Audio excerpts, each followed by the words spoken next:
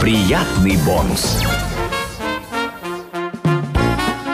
Приближается Новый год, и в эти праздничные дни мы, конечно, будем поздравлять друг друга, садиться за новогодний стол, но, знаете, частенько люди забывают о необходимости беречь себя и своих близких, а также окружающих нас людей от существующей в эти дни опасности возникновения пожара и получения тяжелых травм в результате неосторожного обращения с пиротехническими изделиями.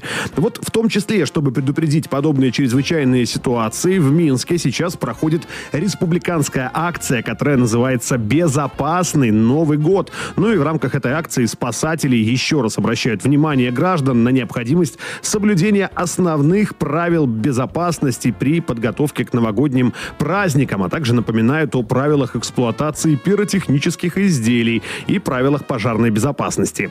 Ну и вот э, решили э, сотрудники МЧС у наших слушателей узнать, а насколько хорошо они знакомы с этими правилами. Вот сейчас будет от меня вопрос с тремя вариантами ответов. Ваша задача выбрать правильный, ну и тот, кто раньше остальных справится с заданием, получит от э, Министерства по чрезвычайным ситуациям подарок, а там много всего интересного, целый пакет, можно сказать, разнообразных подарков.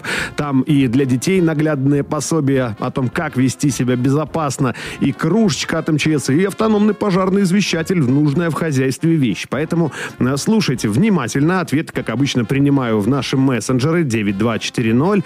Э, это смс-номер, а вот в мессенджере 7158472. 2, код 44. Пишите, пожалуйста, туда свои правильные ответы. Ну а вопрос заключается в следующем.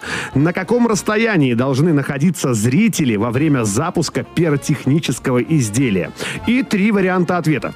А, не имеет значения на любом, а, не ближе 20 метров или на максимально безопасном расстоянии, которое указано в инструкции по применению. Ну вот хитрые а, слушатели уже стали отвечать, но я вот только с этого момента принимаю правильные ответы. Итак, ответ номер один не имеет значения, ответ номер два не ближе 20 метров и ответ номер три на максимально безопасном расстоянии, которое указано в инструкции по применению. Так вот, на каком же расстоянии должны находиться зрители во время запуска пиротехнического изделия? Жду ваши ответы. 9240, короткий номер и Viber Telegram, э, код 44 71 584 72.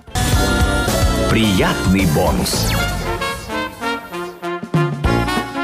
Пришло время узнать, кто же справился с заданием раньше остальных слушателей, кто подкован в знаниях правил пожарной безопасности и кто знает правила эксплуатации пиротехнических изделий. Ну и сразу скажу, что МЧС практически всеми гордится. Да, на вопрос был следующим. На каком расстоянии должны находиться зрители во время запуска пиротехнического изделия? И правильный ответ – на максимально безопасном расстоянии, которое указано в инструкции по применению. Вариант номер три был правильным, поэтому я поздравляю всех, кто справился. Но первым вот в Телеграм ответил наш слушатель. Зовут его Иван. За эфиром обязательно с вами свяжемся и расскажем, как забрать подарок от МЧС. Ну, а спасатели поздравляют всех с наступающими праздниками и надеются, что вы пользуетесь их советами и рекомендациями и встречаете Новый год и встретите Рождество без происшествий. Поэтому счастливого, а главное безопасного Нового года вам желают сотрудники МЧС.